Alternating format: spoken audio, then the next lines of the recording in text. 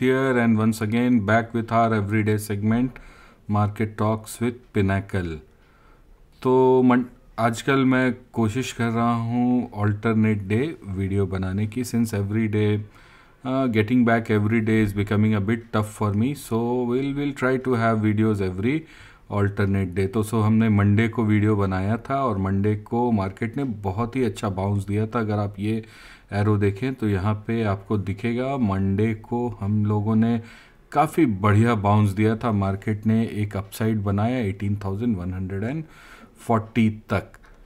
And उसके exact opposite हुआ कल जहाँ हमने जो भी गेंस उसके एक दिन पहले मंडे को जो भी एक्यूमुलेट किया था वो सारा गेंस हमने कल लूज़ कर दिया और वापस एग्जैक्टली exactly उसी पॉइंट पे आ गए 17,860 के आसपास का जो पॉइंट है। फ्रेंड्स हम लोग कमेंट्री रोज देते हैं and if you are still not following on Telegram then you can find the Telegram channel link in the description of the video below so make it a point that you are following our Telegram channel and do not missing on the every day commentary that we are sending तो yesterday we had a big bearish day and ऐसा ही कुछ आज भी रहा। आज का दिन काफ़ी इंटरेस्टिंग था, अगर आप देखें इसको समझने की कोशिश करें। तो we open somewhere around seventeen thousand nine hundred and forty मैं इसको और भी एक लोअर टाइम फ्रेम में लेके जाता हूँ। We'll try to see maybe in one minute chart तो देखते हैं वन मिनट चार्ट में आज का दिन पूरा ही वोलेटिलिटी वाला दिन था तो वी स्टार्टेड एंड ये देख सकते हैं आप एक्शन जो भी हुआ था, वो हार्डली अराउंड ट्वेंटी मिनट्स के एक्शन में हुआ था तो we opened at seventeen thousand nine hundred and forty and वहाँ से एक इमीडिएट डिप हमें मिला था अराउंड विद इन दस मिनट के अंदर में हंड्रेड पॉइंट्स का। And from from there we found a rise of nearly hundred points and back to the exact same level and उसके ऊपर फिर पूरा दिन हमें अच्छा खासा सपोर्ट मिलता रहा उसके ऊपर। बट बहुत अच्छा मूव उसके आगे हमें मिल नहीं पाया। फिर उसके बाद वापस से एक राउंड हमने लो को टच किया। आप देख सकते हैं, उसके बाद फिर वापस से सेलिंग आई एंड फिर लो ऑफ़ द डे के पास हम लोग पहुँचे। फिर एक बार हाई तोड़ने की कोशिश हुई एंड फिर जो एंड ऑफ़ डे हुआ था वो लो के पास हुआ था। मैं आपको ये सब कुछ तीन मिनट के कैंडल में दिखाता हूँ। देख सकते हैं ये मल्टीपल अटेम्प्ट था ये था आज का दिन। एक बार खुला नीचे गया फिर ऊपर गया वहाँ से सेलिंग मिली फिर नीचे आया और ये पॉइंट जो था ये वापस से रेजिस्टेंस बन गया 17,940 तो कुछ तो है मार्केट के अंदर जो कि बिल्कुल भी क्लियर नहीं है एंड इसी बीच में एक बहुत थोड़ा सा चेंज आया है that the short term trend has gone down अगर आप 20 ईएमए को देखने की कोशिश करें 20 डेज़ मूविंग एवरेज तो इट हैज़ गॉन डाउन उसका स्लोप भी डाउनवर्ड्स की तरफ़ हो गया है। सो so, अभी शॉर्ट टर्म में थोड़ा डाउन ट्रेंड है डाउनवर्ड प्रेशर तो है ही और वो सब आप लोग ऑलरेडी फील कर रहे होंगे। तो हो सकता है कि आने वाले दिनों में थोड़ी बहुत और सेलिंग आपको देखने को मिल सकती है। एक बार हो सकता है वापस से 17,777 का लेवल हम लोग वापस से टच करें। हो सकता है आई एम नॉट सेइंग होगा maybe even little bit below that and then उसके बाद से शायद बाइंग आए बिकॉज़ अभी भी मार्केट में स्ट्रेंथ नहीं नज़र आ रही है। सो so, देखते हैं। आज का कैंडल भी कोई बहुत बढ़िया नहीं बना है। आज का कैंडल अगर आप देखें तो कुछ इनडिसीजन टाइप का है। जहाँ खुले थे, हम लोग वहीं पे क्लोजिंग हुई है। देख सकते हैं, हो सकता है थोड़ा सा और करेक्शन में भी पॉसिबल है। बहुत ज़्यादा स्ट्रेंथ मार्केट में देखने को नहीं मिल रही है। निफ्टी में तो बिल्कुल नहीं देखने को मिल रही है। अगर बैंक निफ्टी देखें, बैंक निफ्टी कंपैरेटिवली थोड़ा सा स्ट्रॉन्ग आपको दिखेगा। बैंक निफ्टी में कल सेलिंग आई थी बट आज थोड़ा सा कंपैरेटिवली बैंक निफ्टी थोड़ा सा स्ट्रॉन्ग रहा था। तो कल के लिए लेवल एकदम क्लियर ध्यान रखें। फोर्टी वन थाउज़ेंड या बोले ज़्यादा बेटर अगर लेवल की हम लोग बात करें तो बिलो फोर्टी टू थाउज़ेंड आपको थोड़ा सा वापस से एक डाउन साइड देखने को मिलेगा। सो कल के लिए बहुत ही इंपॉर्टेंट रेंज होगा। 41,950 से आसपास से 42,000 का। उसके नीचे आपको एक डाउन साइड देखने को मिल सकता है।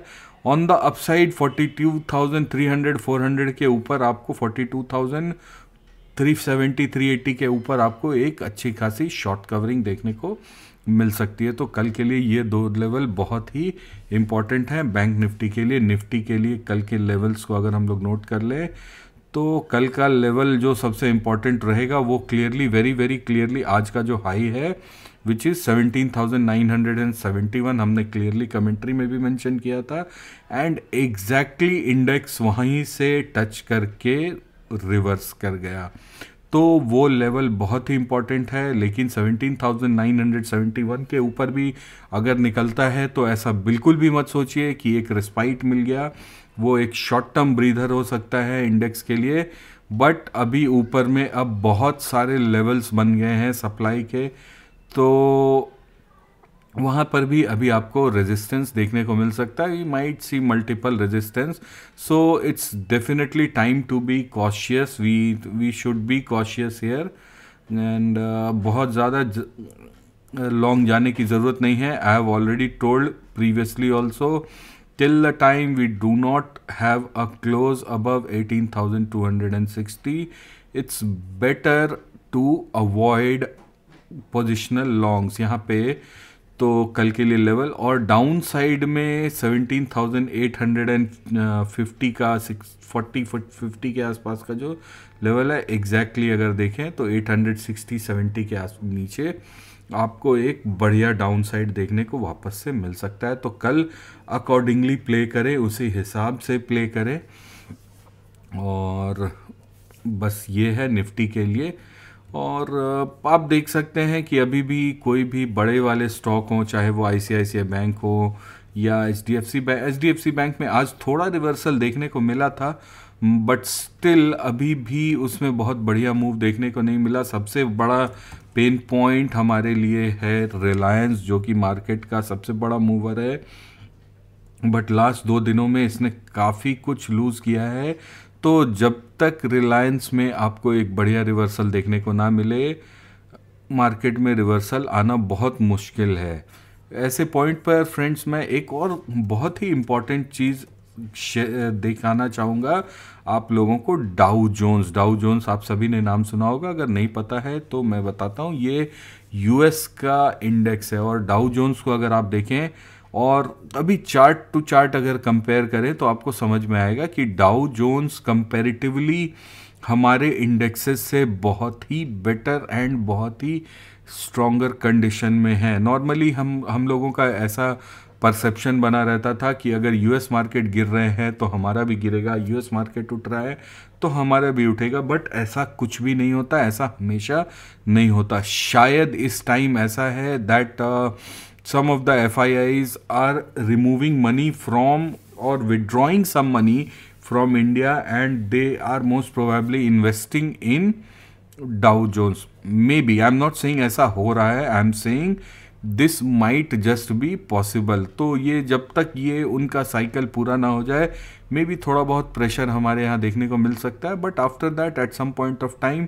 हमारे यहाँ भी अच्छी रैली आपको देखने को मिलेगी फॉर नो डाउट हम लोग अभी भी बुल मार्केट में है, जो अभी आप देख रहे हैं that is just a pull back within a bull market ये हो सकता है, एक दो हफ़्ते, तीन हफ़्ते लास्ट कर सकता है ये कंसोलिडेशन इसमें कोई बड़ी बात नहीं होगी, ये होता है बुल मार्केट कंसोलिडेशन ऐसे होते हैं।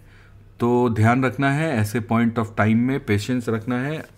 आपको कैश में बढ़िया स्टॉक्स देखने को मिलेंगे कुछ ही दिनों में। तो तब तक के लिए बस पेशेंस रखिए और ध्यान रखिए दैट बहुत ज़्यादा पैनिक नहीं करना है at some point of time क्योंकि मेजर ट्रेंड अभी भी अगर आप समझें तो मेजर ट्रेंड अभी भी अप है। तो आज के लिए फ्रेंड्स बस इतना ही। हमारे चैनल को ज़रूर फॉलो करिएगा। तब तक के लिए see you again on Friday bye bye